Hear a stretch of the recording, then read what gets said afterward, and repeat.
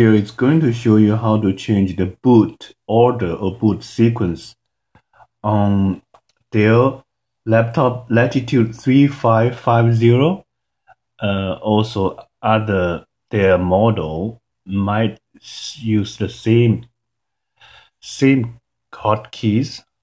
Okay, so basically this is the screen we, we need to access. Okay, and how to access this screen, let's look at the keyboard here. There's a keyboard here, F12.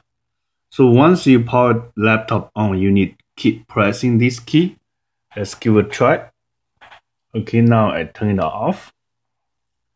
Okay. Turn it on. I'm pressing F12.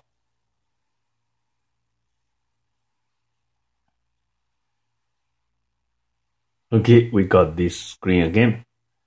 So, power on the laptop, press F12 immediately and keep pressing it till the menu showing up. So, one thing, you can select the boot device.